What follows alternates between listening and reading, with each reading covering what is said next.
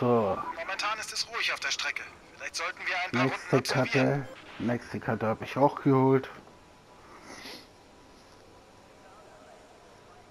Jetzt bin ich bei SummerSlam Karte.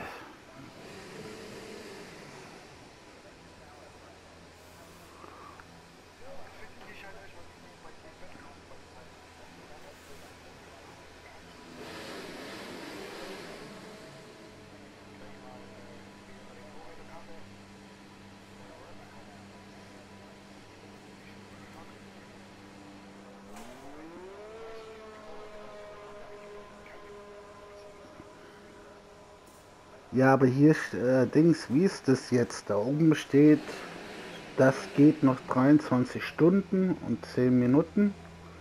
Und unten steht, unten steht jetzt beitreten.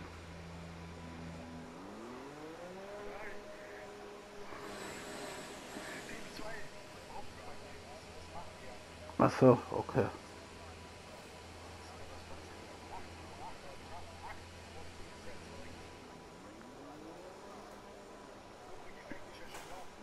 Ja.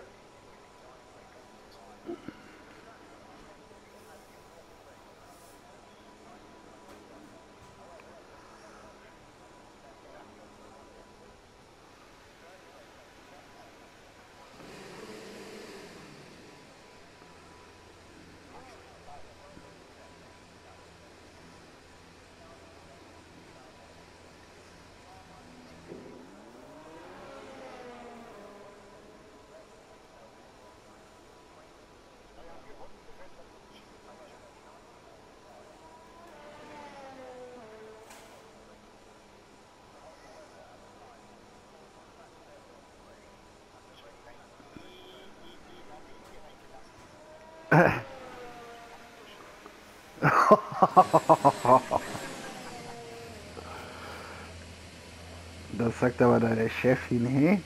Du hast doch gesagt. das hat schön.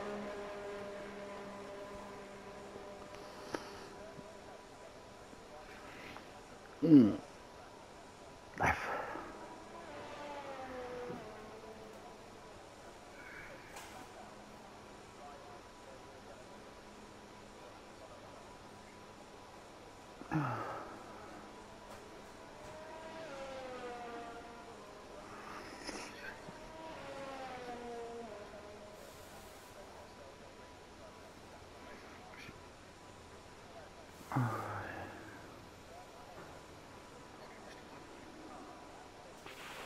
Informationen zur Reifenabnutzung oder einem Schaden aufrufen möchtest, drücke die MFA-Taste für die Multifunktionsanzeige und dann erneut, um zum Reifen- und Schadensbildschirm zu navigieren.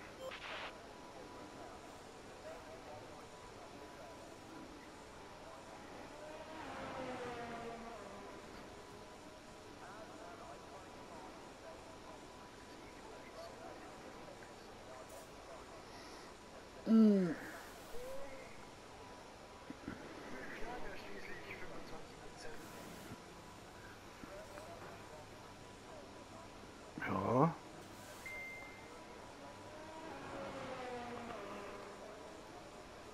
Nee.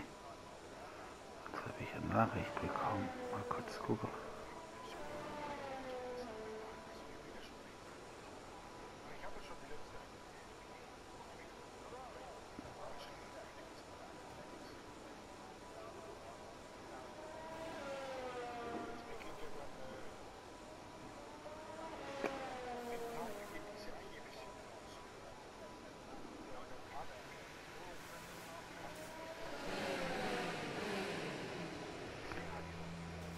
Was?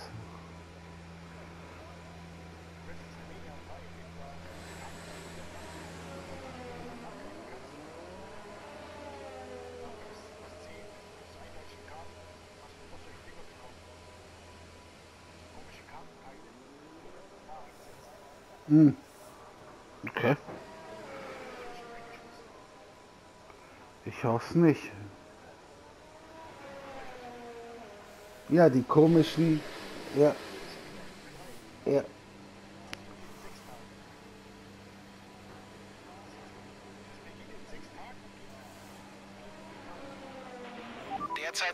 Teams draußen. Die Strecke sieht überfüllt aus.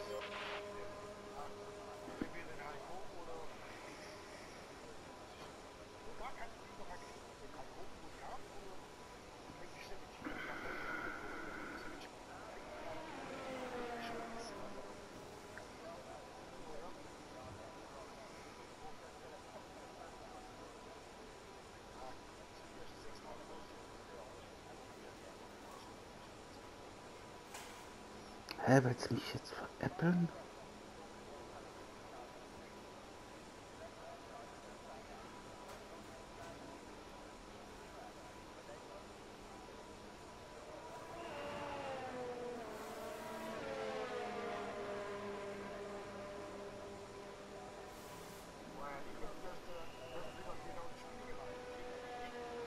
Nee.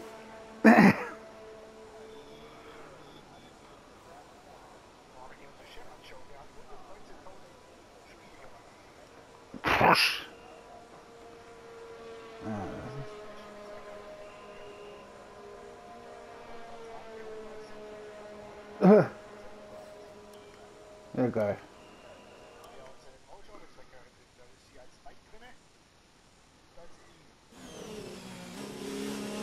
Ja, sorry.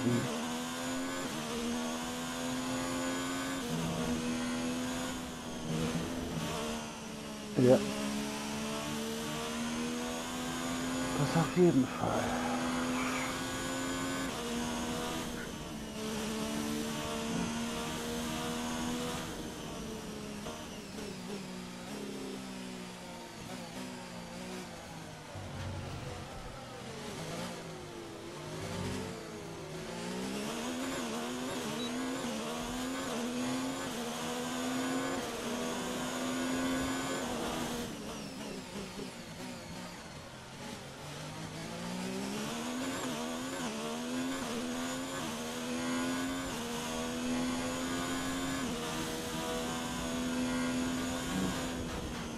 Hm, super.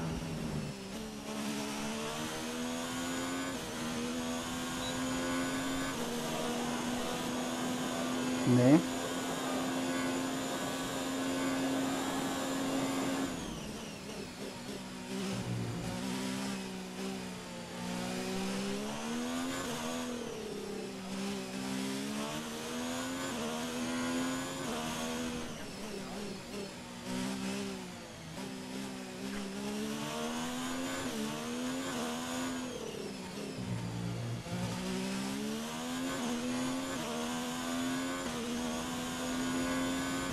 Habe ich doch schon.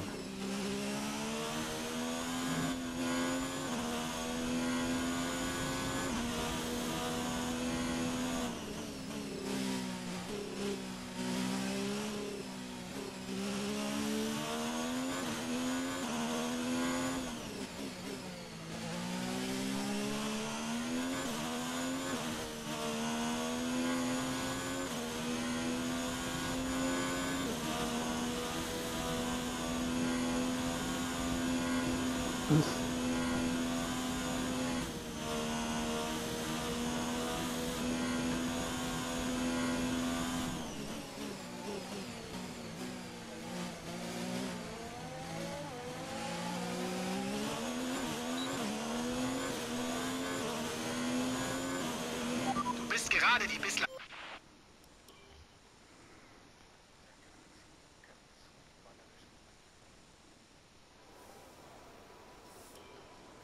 Ja, gut.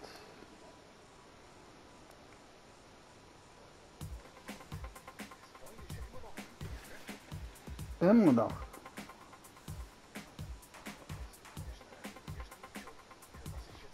Mit dem Ende des Oh, das frage ich mich ja.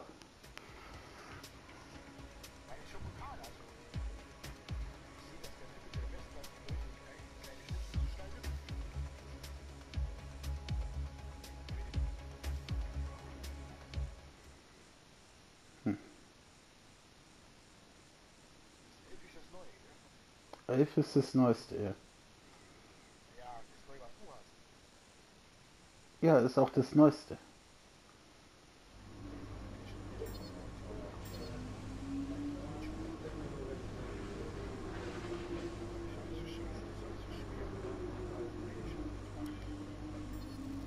Nee, bei den meisten ist das einfach.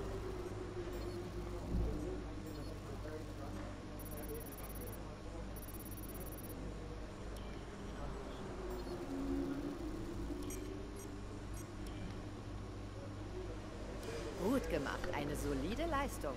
Im Rennen bitte gern mehr davon.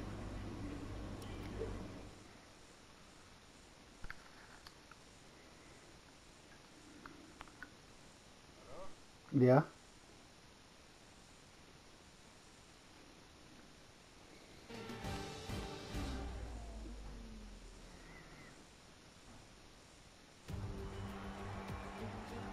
Es sind nur noch wenige Minuten bis zum Beginn des Rennens. So sieht die Startaufstellung aus. Thomas startet auf der Pole Position und Charles Leclerc steht auf P2. Und in der restlichen Startaufstellung von heute haben wir Vettel, Hamilton, Sergio Perez und Verstappen. Butler, Norris, Raikönen und Daniel Ricciardo. Stroll, Gasly, Alexander Albon, er hat eine Gridstrafe erhalten. Und Hülkenberg. Weber, Sainz Junior, George Russell und Robert Kubica. Bottas und Romain Grosjean befindet sich am Ende der Startaufstellung. Die Lichter gehen bald aus, also schalten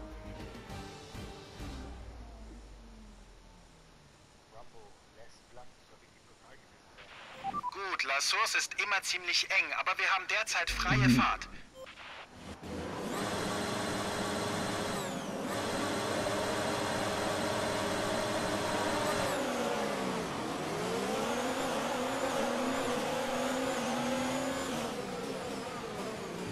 Was nochmal?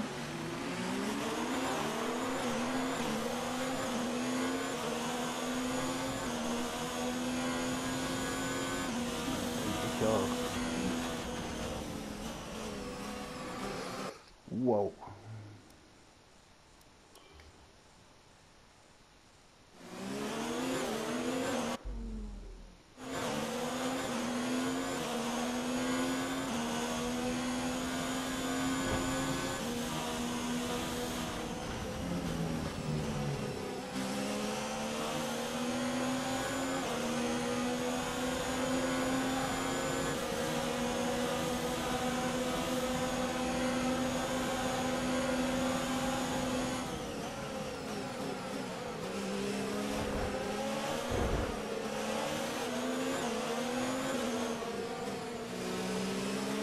Das war ein starker Start.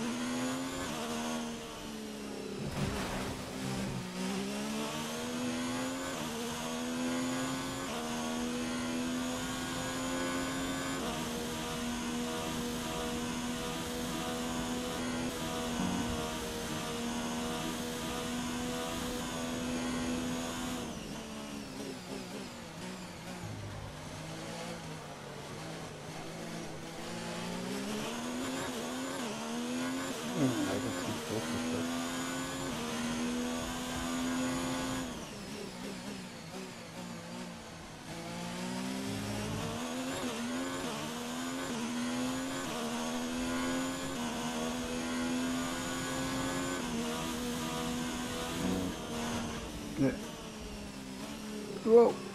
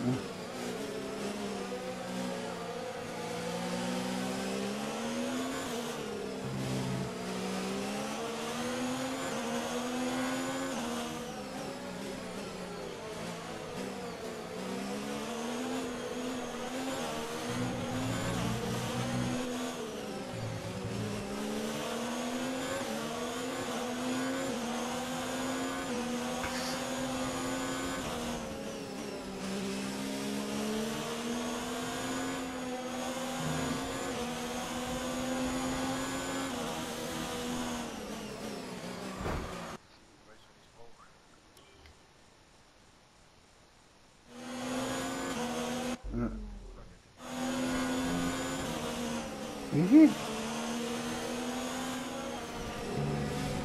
Oha.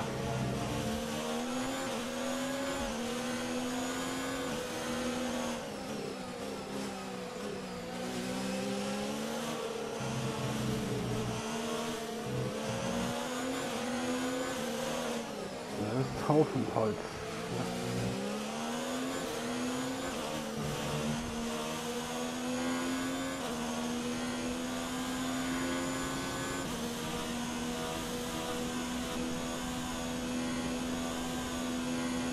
Was wiegt sie denn?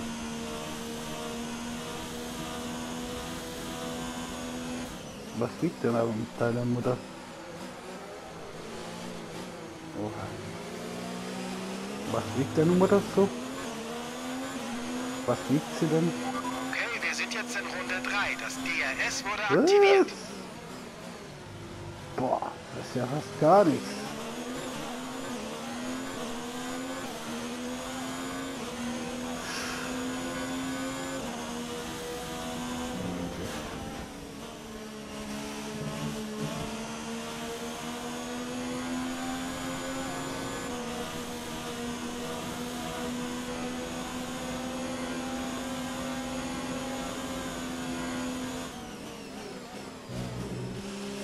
Das ist dann schon heftig, auf jeden Fall.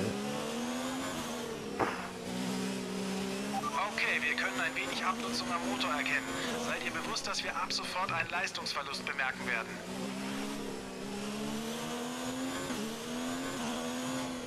Hm, schmerzhaft wird es auf jeden Fall sein.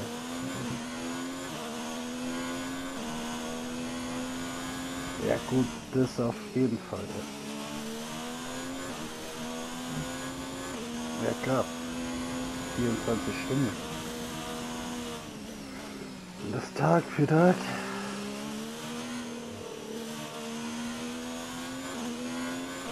Der Motor zeigt erste Verschleißspuren. Optimalleistung nicht mehr möglich.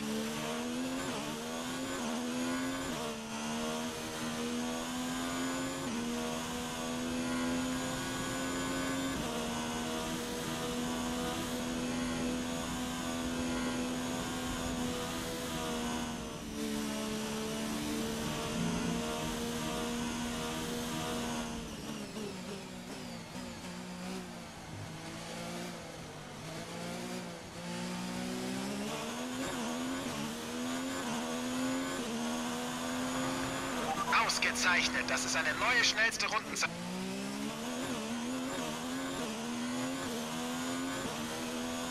Äh, siehst mal, zwei Tage kein Formel 1 gespielt, schon ein bisschen aus der Übung.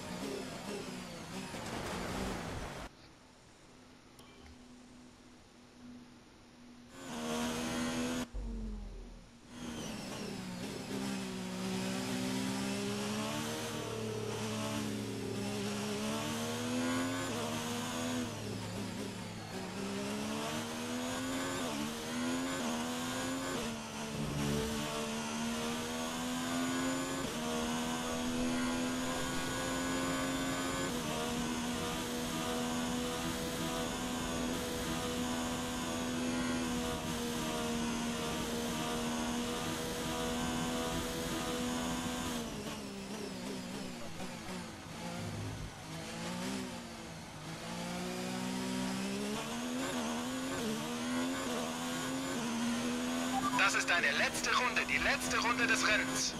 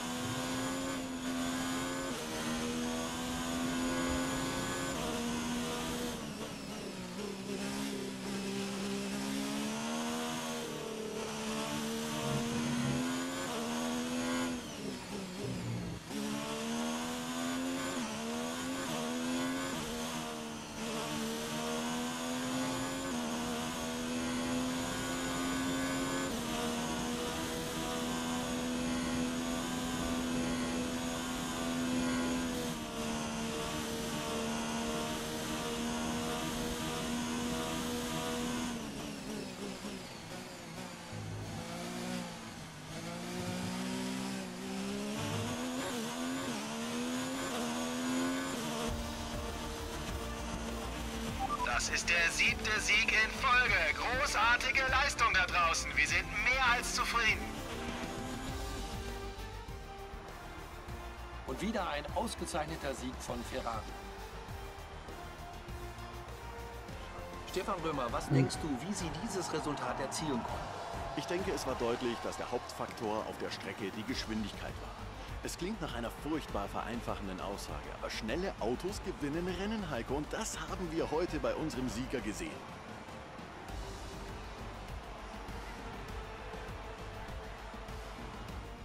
Bei der Siegerehrung sehen wir den roten Anzug, der den Fans auf der ganzen Welt bekannt ist. Ein Weltklasse-Sieg für ein Weltklasse-Team. Ferrari hat es wieder einmal geschafft.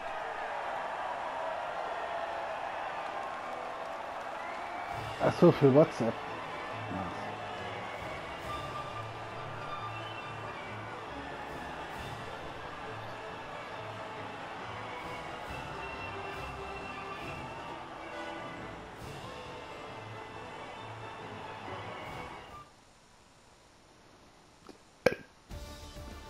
Uns nun die Fahrerrangliste an. Thomas vergrößert den Vorsprung in der Weltmeisterschaft. Wir haben heute einige beeindruckende...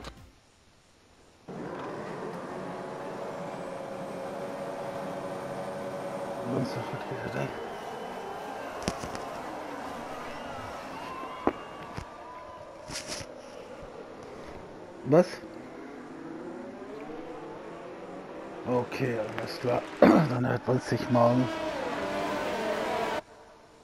Also, ciao.